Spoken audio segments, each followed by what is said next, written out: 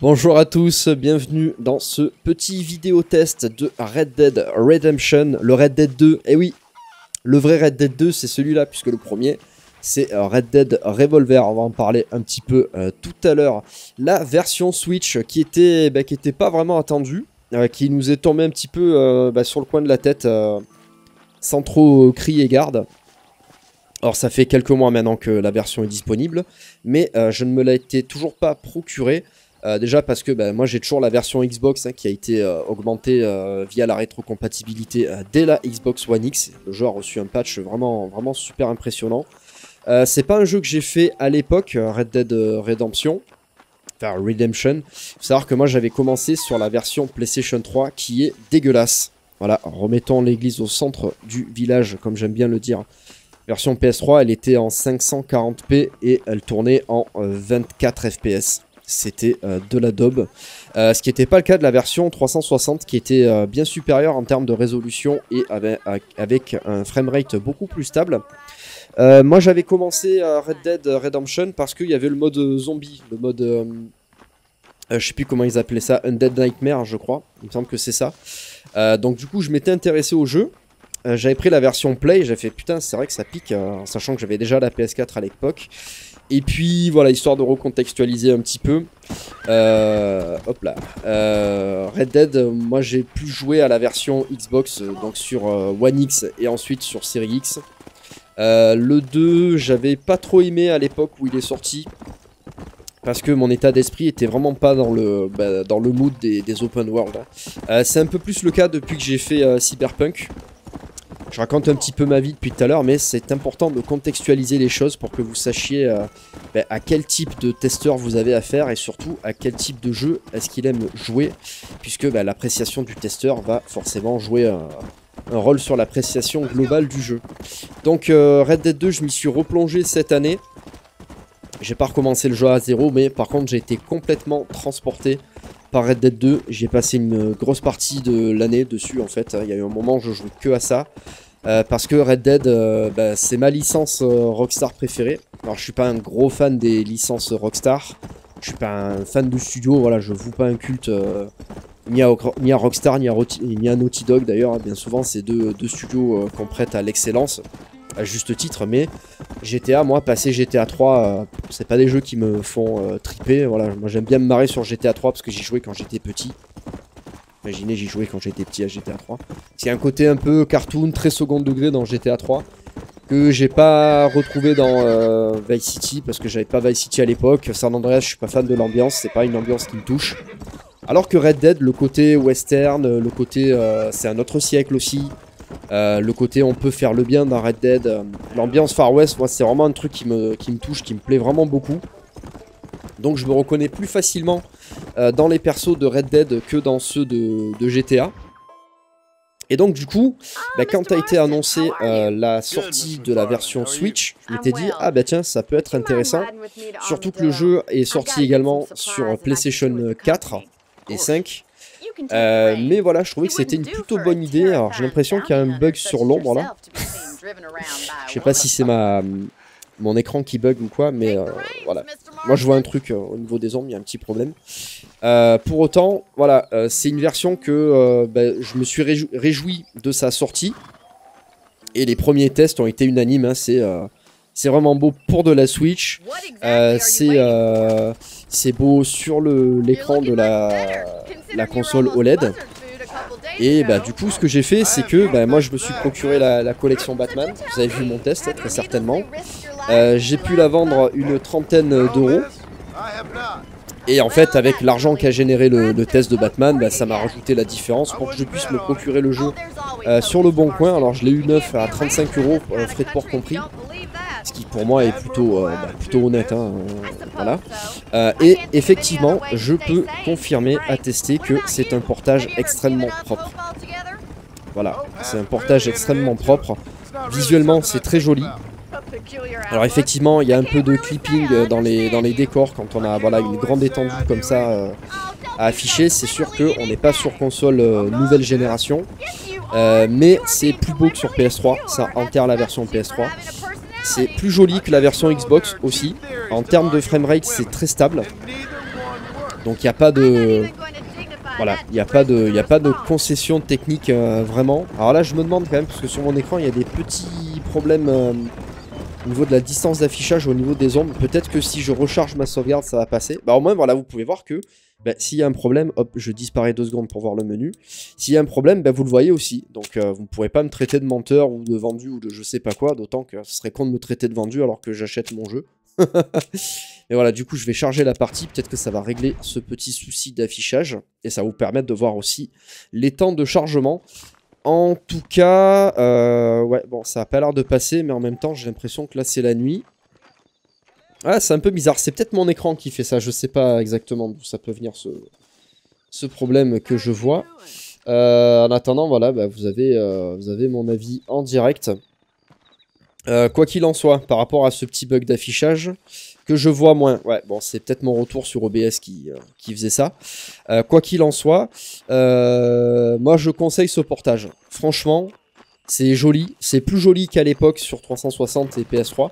Alors, je sais pas pourquoi le jeu est toujours pas dispo sur PC. Franchement, ça aurait été chouette qu'il fasse une version PC pour les PCistes. Je sais que pendant un moment, le jeu était dispo sur le PlayStation Now et que euh, bah, il y a certains joueurs qui ont pu y jouer comme ça parce que le PS Now était dispo sur, euh, bah, sur PC et je crois même sur Mac. Alors je sais plus, je crois que c'est plus. Je sais pas si c'est encore possible aujourd'hui. Quoi qu'il en soit, si vous avez une Switch et que vous hésitez à acheter cette version, ben moi je vous la conseille. Voilà. Je vous la conseille. Néanmoins, néanmoins, je vais quand même vous dire que pour 60 euros, c'est un peu cher. Voilà. Moi, je l'ai payé 35 euh, euros, frais de port compris, en 9 sous blister et en version boîte en plus. Donc, je m'étais dit, voilà, si le, si le jeu ne me convient pas, bah, je, m'en débarrasserai, hein, je le vendrai. En plus, bon, voilà, la cote du prix ne baisse pas visiblement, donc euh, j'y perdrai pas trop au change. Surtout que là, dans ma tête, je l'ai changé contre la trilogie Batman qui était vraiment honteuse. Euh, là, je trouve que 60 euros, c'est un peu cher. En sachant que euh, bah, pour le Black Friday, il était proposé à 40 euros sur le store de la Switch euh, en démat. Après, vous voulez vous démat ou vous n'en voulez pas, euh, c'était quand même disponible à ce prix-là, ce, qui est plutôt, ce qui est plutôt bien. en sachant aussi que bah, y a l'extension Undead Nightmare qui est, est d'office débloquée dans le menu. Hein, vous l'avez vu tout à l'heure quand... non, vous l'avez pas vu. quand vous sélectionnez votre partie, euh, vous avez soit le choix de charger la partie, soit de faire nouvelle partie, soit de lancer le mode Undead Nightmare, qui peut être fait sans être... Euh, voilà, c'est un truc un peu spin-off, c'est un bonus, donc euh, si jamais vous voulez faire que le mode zombie, entre guillemets, que vous voulez pas faire le scénario, quoi que ça serait quand même dommage, bah vous pouvez faire le jeu comme ça. Après, pour 60 euros, faire que le mode zombie, c'est un peu dommage. D'autant que voilà, moi c'est un jeu qui... Bah moi je voulais le faire en portable. J'avais hésité entre la version Play et la version Switch. Alors après, j'étais pas obligé de racheter le jeu vu que je l'avais déjà sur euh, Xbox en démat et en physique en plus de ça, donc je peux y jouer sur la, sur la série S. Euh, je m'étais posé la question, qu'est-ce qui vaut mieux entre la version PS4 sur PS5 qui a euh, reçu le mode 60 FPS exclusivement, ou bien la possibilité d'y jouer en mode portable? Eh ben, en sachant que depuis que j'ai racheté la OLED, je prends la Switch avec moi quasiment tous les jours pour y jouer ben, pendant ma pause déjeuner, hein, une fois que une fois que j'ai fini mon, repas au travail, bah, je me mets dans mon bureau et je joue une petite, euh, une petite demi-heure trois quarts d'heure en attendant que, bah, que la cloche euh, retentisse pour que je me remette au travail. Moi, ça me permet de vous faire des petits tests, euh, de préparer mes tests pour, bah, pour cette petite rubrique sur ma chaîne, les tests de portage de jeux sur Switch, ou les tests de jeux Switch. ça me fait gagner un peu de temps. Eh ben, honnêtement, moi de jouer à Red Dead pendant ma pause déjeuner, ça me détend de ouf parce que l'ambiance sonore elle est vraiment, extrêmement réussi. Que ce soit les musiques, les bruits de la nature. Euh, voilà, c'est un jeu dans lequel euh, vous vous y mettez. Et même si vous faites pas des, tueries, des machins, ben moi c'est un jeu, une ambiance qui me détend. Red Dead. Voilà, moi ça me transporte pendant une demi-heure. Je fais une balade à cheval. Euh, et j'ai pas l'impression de perdre mon temps. Alors ça peut être le cas aussi dans, Zelda. Hein. Mais moi vraiment ça me, ça me coupe du monde Red Dead. Et c'est un jeu qui me fait vraiment du bien. Que ce soit le premier, le deuxième. Ça me fait vraiment du bien. Ah oui, alors je disais, euh, c'est le deuxième, effectivement, puisque le premier épisode, c'est Red Dead Revolver, qui est sorti sur, euh, bah, sur PS2 et sur Xbox. Euh, qui, pour le prix de la compile, enfin, la compile, oui, puisqu'il y a l'extension, mais pour 60 euros, je trouve que ça aurait été plus juste qu'ils nous mettent une version HD de Red Dead Revolver. que très peu de monde connaît, vu que c'est un jeu qui est quand même assez ancien, qui n'est pas rétrocompatible sur 360, me semble-t-il. Enfin, ni 360 ni One, je dis peut-être des bêtises, mais il me semble qu'on peut pas y jouer sur les, consoles actuelles. Franchement, pour le prix, je pense qu'ils auraient pu faire l'effort, dans plus de Red Dead Redemption, de nous mettre Red Dead Revolver. Voilà. Après, ça, ça dépendra de votre rapport que vous avez euh, avec le, prix des jeux, euh, les moyens que vous avez pour vous payer des jeux. Attendant, moi je trouve que 60 euros c'est un petit peu cher. 40 euros ça aurait été le prix juste. 60 s'il y avait eu Red Dead Revolver en plus, je pense que ça aurait été un petit peu plus correct. Maintenant voilà, ça se trouve d'occasion, ça se trouve en démat euh, en promotion de temps en temps. Là je vous l'ai dit, c'était le cas pour le Black Friday. Euh, donc euh, c'est à vous de voir. Moi vous savez ce que j'en pense maintenant. Moi c'est un jeu qui me détend. Je vais quand même faire une petite partie sur la partie graphique. Vous voyez là, l'ombre, elle est aliasée. Alors effectivement les contours sont aliasés. Malheureusement c'est vrai que bah, la Switch, là j'ai l'impression qu'on lui fait vraiment cracher ses poumons. Dans le sens où c'est un portage qui, je pense, met les potards à fond pour la Switch. Euh, c'est tellement propre en fait. Euh, alors c'est pas surprenant, je pense que c'est ce qu'on est en droit d'attendre d'une version Switch, sachant que le jeu date d'il y a quand même...